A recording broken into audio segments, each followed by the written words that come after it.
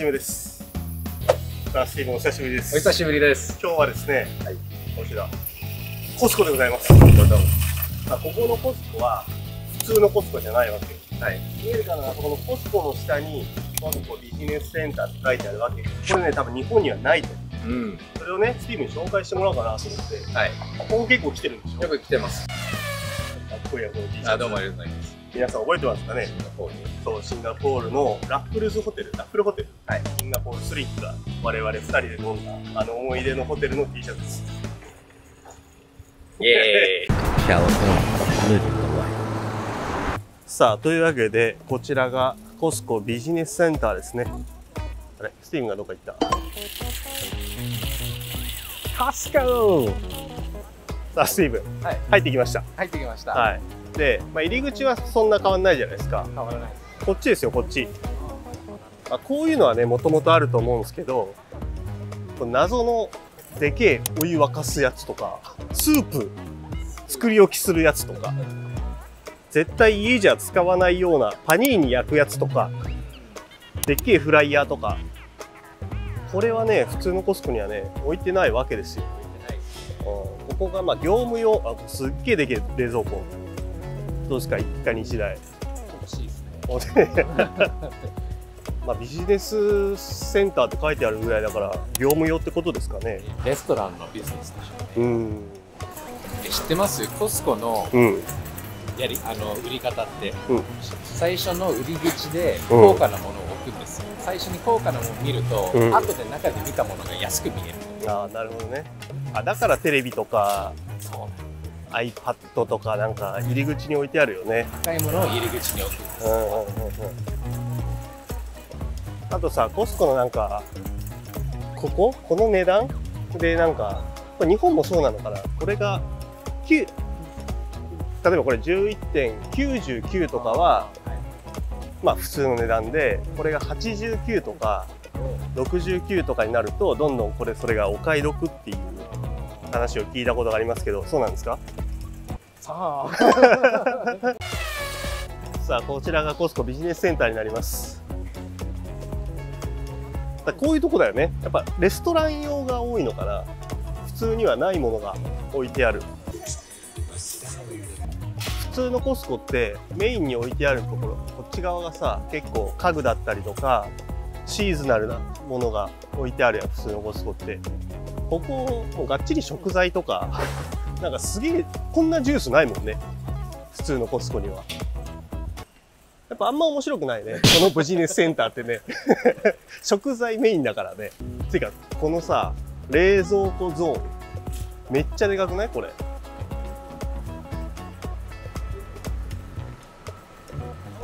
広だって普通のコスコの冷蔵庫ゾーンって多分これの10分の1だよね。すごいな。チーズ。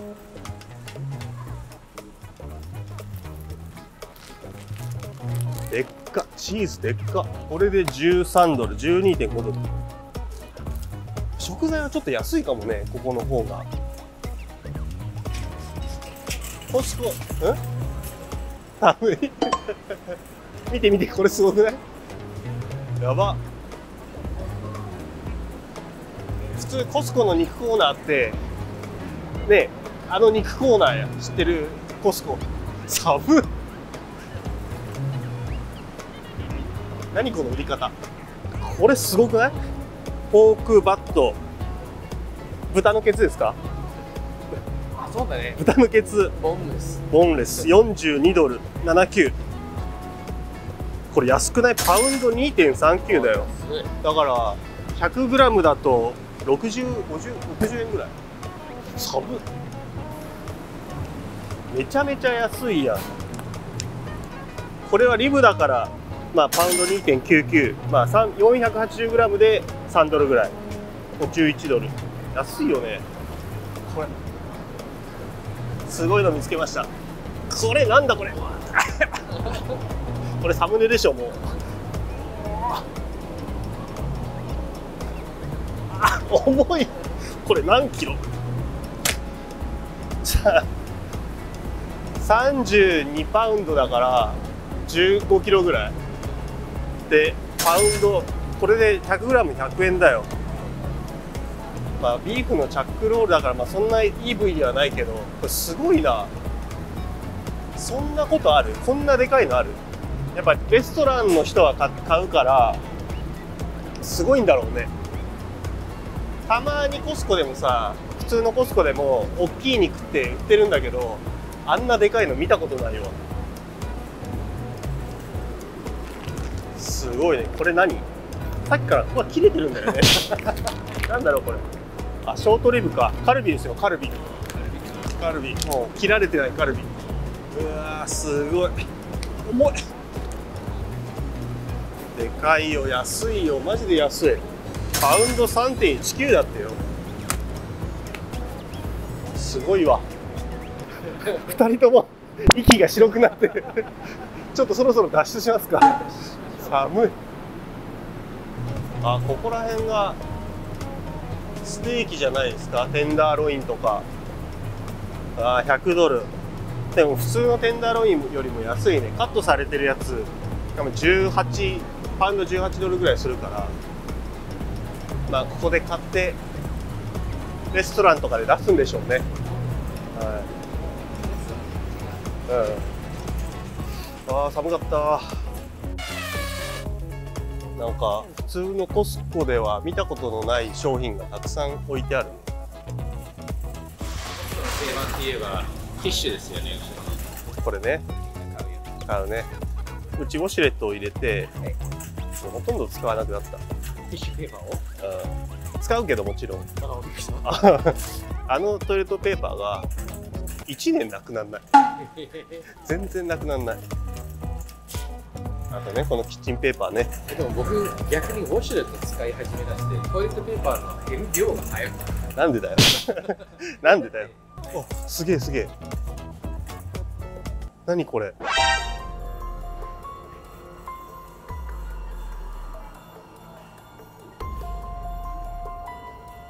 一般の人が入れるとこでこれ売ってる？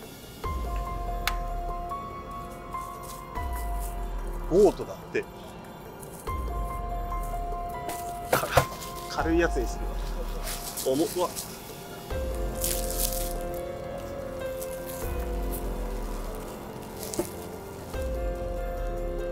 買います？これ。これねあの触ったらわかると思うけど1頭です。見てこれここ触って。足。うわーすごい足だ。何これ？こんなん誰か買うの？やばくない？これが15キロ？いくらだろう？100ドルぐらいかこれで。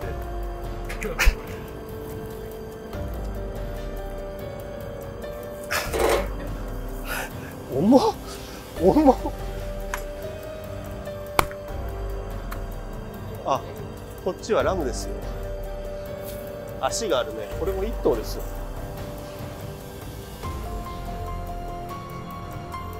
いやーアメリカにはいろんな闇がありますね。ん？これアメリカ人みんな食べるやつよく売ってるよね。買ったことないわ、うん、まああのピザ味の。このドレッシングの量がガロンですよ3.8リットル。これで17ドル。まあレストランできるね普通に。ここで買いに来れば。でバーガーをこうやってダンクして食べる。ディップ。ディップする。バーバーガーをディップするっていう発想よ。ランチ？ランチ。ランチ。ランチ。ランチ。ランチあ。ランチはサンタババラで生まれたらしいよ。調べた。ランチはアメリカのものなのかなと思って調べたらなんかサンタバーバラの牧場？あのラランチ。でなんかどっかのおっさんが発明したドレッシングらしくてなんかそこのそこの、まあ、牧場だからラランチっていう名前がついたという話らしいですなんかアメリカのスーパーとかその、まあ、コスコとかってすごい量が売っててすごいなって多分日本の人は思うんだけどさらにそれ以上だからねここすごいね。これとかね、パンパンすごくアメリカ人。これね。これさ、俺が初めてホームステイしてた、あの、家があって、まあメキシカンのとこなんだけど、そこの子供、トナトゥーンっていう名前だったな。んだっけな。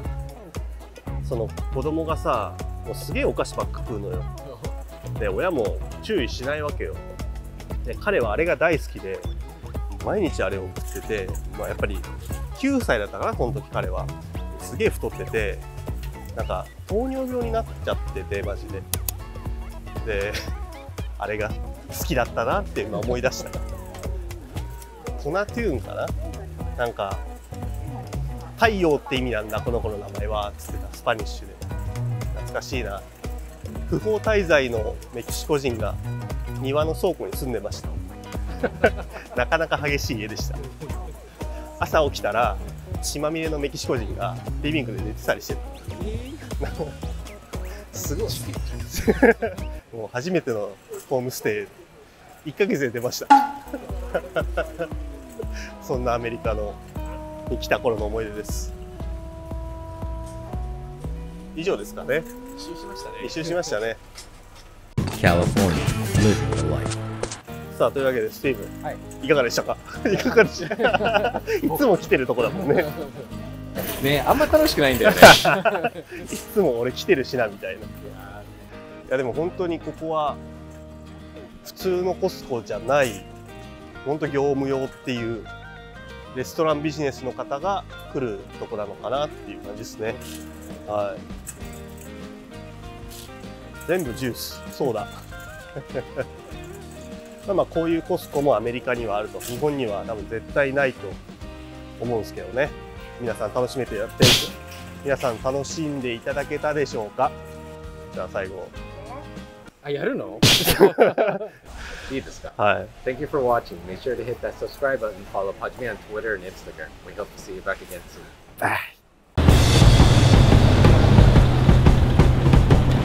Thank you for watching. Make sure to hit that subscribe button. Follow Pajime on Twitter and Instagram, and we hope to see you back again soon. これね、俺も買ってた。あ、そう。俺もこれを買ってて、ソーダストリームに移った。あ、そういうことなの、うん。一歩手前なんだよ。どれが好きこれ。ああ、これうまいよね。うん。これなんで入ってるのか意味がわかんない。でも。ね、回る。フェイバリットが。あるあるある。あ、最初がやっぱこのグレープフルーツが美味しいなと思ってたけど、まあラインもいいなみたいな。テキーラ入れちゃいたいなみたいな、ね。なるほどね。うん。あ、いいな、テキーラ。そうそう。テキーラにはこのライム合うよ。